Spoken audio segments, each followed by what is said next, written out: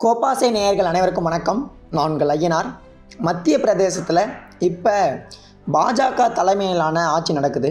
யார் அங்கே முதல்வராக இருக்கிறாரு அப்படின்ட்டு பார்த்தீங்கன்னா சிவராஜ் சிங் சவுகான் அவர் தான் முன்னாடி வந்து ஜெயிக்கிறப்ப ரெண்டாயிரத்தி பத்தொம்போதில் காங்கிரஸ் தான் அந்த இடத்த வந்து இடங்களை கைப்பற்றுச்சு. நூற்றி நூற்றி பதினாலு இடங்களை.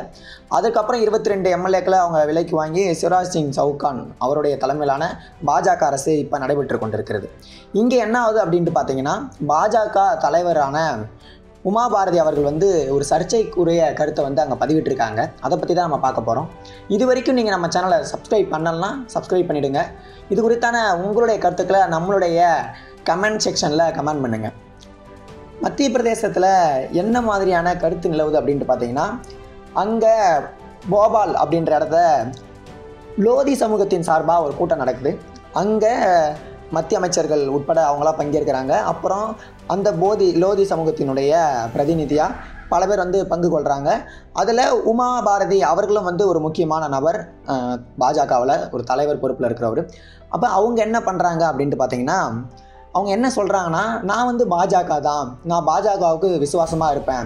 ஆனால் என்னோட சமூகத்து மக்கள் நீங்கள் பாஜகவுக்கு தான் ஓட்டு போடணும் அப்படின்ட்டு எந்தவித அவசியமும் இல்லை அப்படின்ட்டு சொல்கிறாங்க அது மட்டும் இல்லாமல் நீங்கள் ஓட்டு போகிறதுக்கு முன்னாடி யோசித்து பார்க்கணும். உங்களுக்கு என்ன தோணுதோ அதை தான் பண்ணணும். என்னென்ன நடந்திருக்கு அப்படின்றதெல்லாம் வச்சு தான் நீங்கள் ஓட்டு போடணும் அப்படின்ட்டு சொல்கிறாங்க அது மட்டும் இல்லாமல் கூடுதலாக என்ன சொல்கிறாங்க அப்படின்ட்டு பார்த்தீங்கன்னா நீங்கள் பாஜகவுக்கு தான் ஓட்டு போடணும் எந்தவித கட்டாயமும் இல்லை.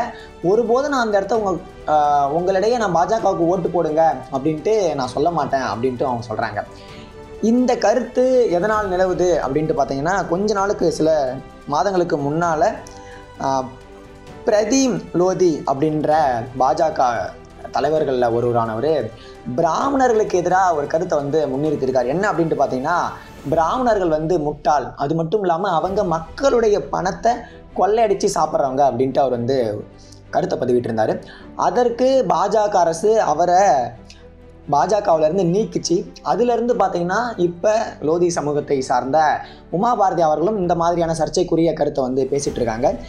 அங்கே என்ன மத்திய பிரதேசத்தை பொறுத்த வரைக்கும் பார்த்தீங்கன்னா அந்த சமூகத்து மக்களிடையே தான் அதிக ஓட் பேங்க் இருக்கிறதாகவும் அதனால தான் இது வரைக்கும் பாஜக ஏதோ ஓரளவுனாச்சும் வென்றுட்டு இருந்துருச்சு அப்படின்ற ஒரு கருத்து இருக்குது ஆனால் இப்போ தொடர்ந்து அந்த சமூகத்து மக்களிடையே இந்த பேச்சு என்பது ஒரு பரபரப்பை ஏற்படுத்தக்கூடிய அது மட்டும் இல்லாமல் உட்கட்சி பூசலை ஏற்படுத்தக்கூடிய ஒரு கருத்தாகவும் பார்க்கப்படுகிறது. ஏன் சொல்கிறேன் அப்படின்ட்டு கேட்டிங்கன்னா இன்னும் ஒரு வருட காலத்திற்குள்ளாக அங்கே எலெக்ஷன் வரப்போகுது. அப்போ அதை தொடர்ந்து கட்சிகள் நகர்ந்து கொண்டிருக்கும் நிலையில் இங்கே உமா பாரதி அவர்களுடைய கருத்தும் பிரதீம் லோதி அவர்களுடைய கருத்தும் உட்கட்சிக்குள்ளேயே மிகப்பெரிய ஒரு பேசுபொருளாக மாறி இருக்குது அப்படின்றதான் இங்கே முக்கியத்துவம் வாய்ந்ததாக பார்க்கப்படுகிறது. இப்போ இது குறித்தான உங்களுடைய கருத்துக்கள் என்னவா இருக்குது அப்படின்றத நம்மளுடைய கமெண்ட் செக்ஷனில் கமெண்ட் பண்ணுங்கள் தொடர்ந்து நம்ம கோபாசே சேனலோட இணைந்திருங்கள். நம்ம கோபாசை சேனலை சப்ஸ்கிரைப் பண்ணிவிடுங்க நன்றி வணக்கம்.